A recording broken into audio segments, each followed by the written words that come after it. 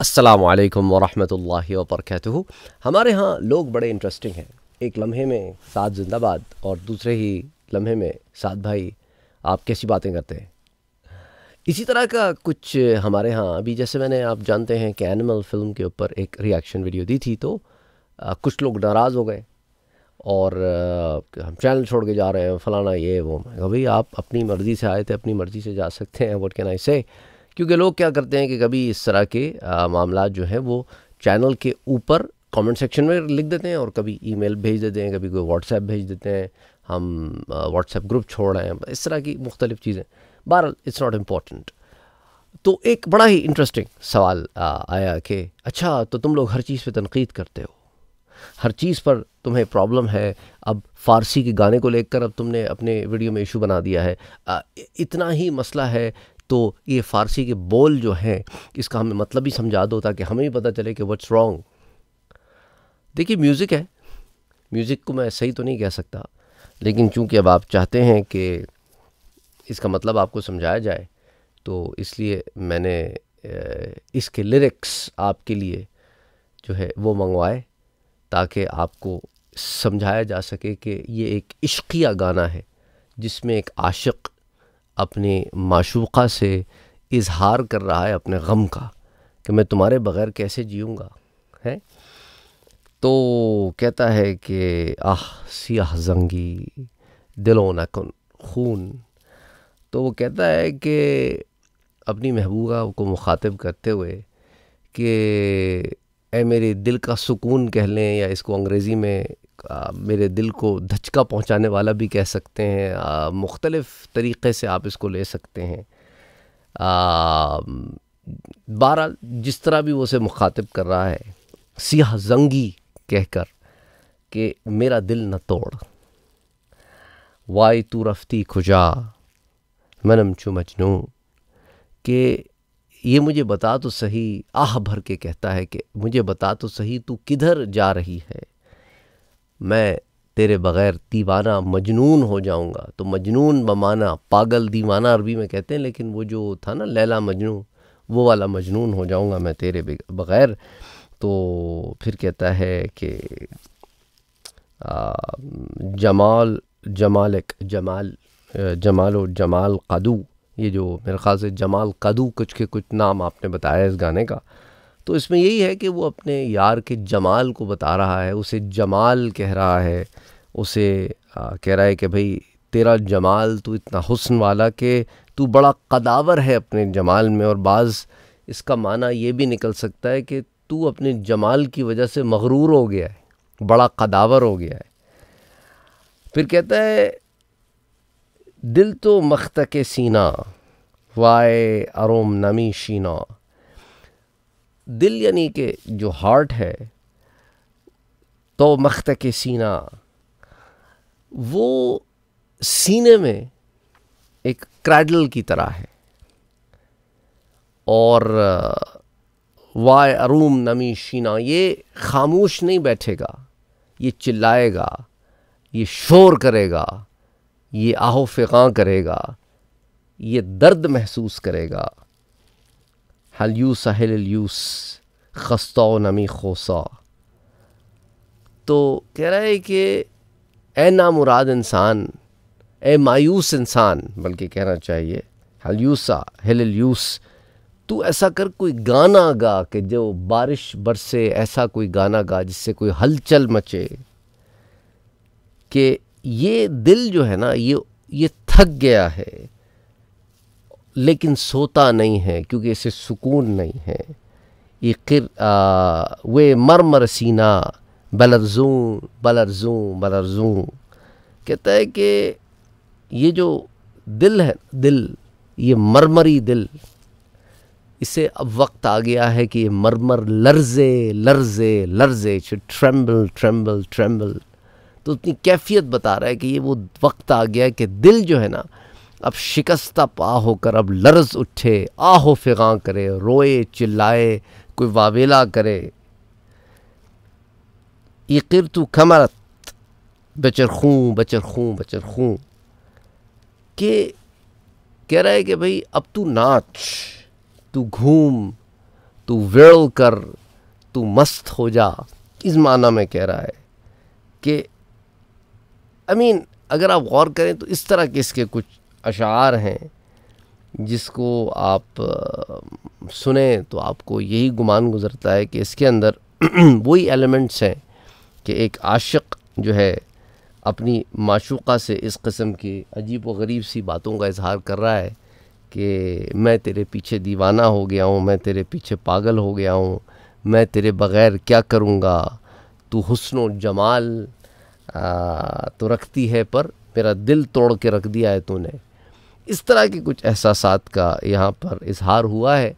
कोई ऐसी बात आप समझ लें कि नहीं है कि जिसके लिए आप इसे सुने और इससे कोई आप आ, जो है कोई चीज़ अक्स करें। I mean it's it's just not worth it basically I I think that's what it is फिर इसका एक और शेर जो है, दिल तो महबस सीना, हाय आरूम नमिशिना यानी ये जो दिल है, ये सीने में की जेल में बंद है। आहा अरूम नमिशना और ये आहो फ़िका जो है, उसे ये उसका उसे आहो फ़िका करना चाहिए उसे शोर करना चाहिए और इसे इस चीज़ को एक्सेप्ट नहीं करना चाहिए जो जो ये मामला है। आ, इसे गाना गाना चाहिए बारिशों के लिए। आम, और इसका एक और है हल यूसा अलल यूसा इसरोर नमी फुरसा।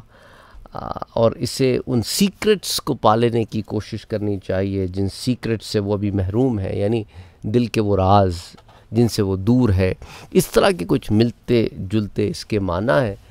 तो it's just like it's a poetry at the end of the day it's just a poetry लेकिन वही बात है कि ये पोइट्री जो है, ये किस तरह फिल्माई गई है इसके अंदर? क्या दिखाया गया है? गाना गा रहे हैं, शराब नोशी है सिगरेट नोशी है, औरतें हैं, नाच है, गाना है खुराफात हैं, ये सारी चीज़ें भी तो इसके अंदर है ना। बस वही बात है हमारे यहाँ के अक्लैयार है, सौ भेस बदल लेती है। हमने रीज़न्स ढूँढने होते हैं किसी भी काम को करने के लिए कि ख़ुद तो बदलते नहीं, कुरान को बदल देते हैं, वाला एक एटीट्यूड हमने बनाया हुआ है। तो basically it's about time that we should realise कि हमारा इस दुनिया में मकसद ये नहीं है कि हम इन खेल कूदों में पड़े रहें और अपने वक्त को बर्बाद करें।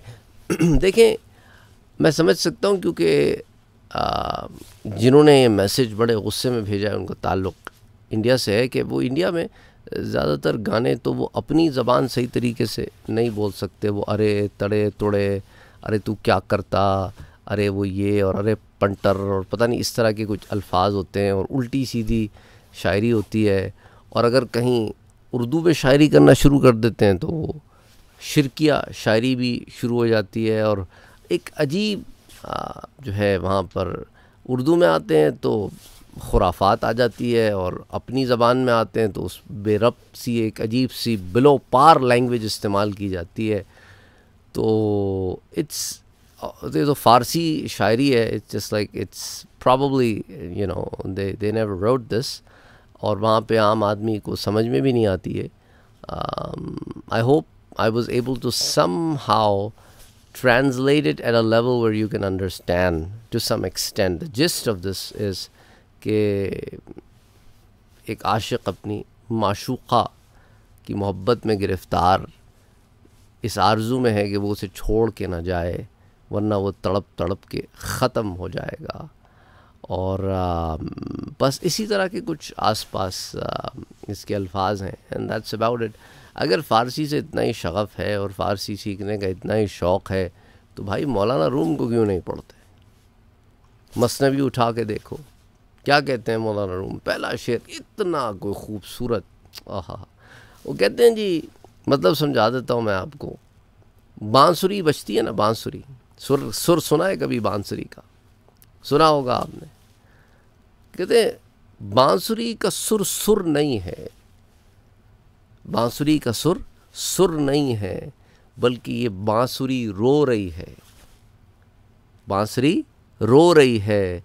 क्यों रो रही है? क्योंकि बांसुरी बनती कैसे है? लकड़ी से बनती है ना। और लकड़ी कहाँ से आती है? दरख्त से आती है। अब इसे बांसुरी बनने के लिए दरख्त से जुदा होना पड़ा। तो अब बांसुरी रो रही है कि मैं अपने असल से जुदा हो गई, अपनी हैसियत और हकीकत को खो बैठी। तो ये सुर नहीं है, ये इसके नाले हैं। अब वो इंसान को क्या समझाने की कोशिश कर रहे हैं इस मिसाल से? जैसे बांसुरी अपने असल से जुदा हो के रोती है तो इंसान, तू भी तो यहाँ का नहीं है, तू भी तो माला आला से आया है, तेरे अंदर भी तो रूहानी क़वत है, तेरी रूह भी तो रोती है उन मकामात के लिए जहाँ छोड़ कर जिन्हें छोड़ कर इस आलम नासूत में आई है तो तेरे अंदर वो बांसुरी किसी तड़प क्यों नहीं है? तू अपनी सरिश्त को, अपनी असल को क्यों नहीं समझता? तू अपने असल मकसद की तरफ़ क्यों गामजन नहीं है? इस तरह करके, एक एक एक एक शेर के अंदर आप देखें, ऐसे, ऐसा फ़लसफ़ा मौजूद है कि बंदा पढ़ता है तो कहता है सुबहान अल्लाह अल्लाह, क्या आम चीज़ों से क्या बड़े बड़े मकसद आपको समझा दिए हैं? हम इन्हीं चीज़ों में बड़े हुए हैं। गानों में, ये गानों के मतलब समझ आए। अल्लाह हिदायत दे, और क्या कह सकते आप इतने नाराज़ थे, गुस्से में थे। मैं क्या चलें, आपको समझा देते हैं, क्योंकि अक्सर लोग ये टॉन्ट करते हैं कि, यार, तुम लोग को काम वाम कोई नहीं है, बस बैठे टॉन्ट करते रहते हो कि ये नहीं सुनना, वो नहीं सुनना। आई मीन को पता वता भी है, इसमें होता क्या, लिखा क्या है। तो इसलिए कहा आपसे क्योंकि कुछ शुद्ध बुद्ध है, हमें भी कुछ ना कुछ यू नो शुद्ध बुद्ध छोटी मोटी सी। बस और तो कुछ नहीं है, वरना हमारे पास और कुछ नहीं है, कुछ भी नहीं है। ख्याल रखिएगा अपना। अस्सलाम वालेकुम।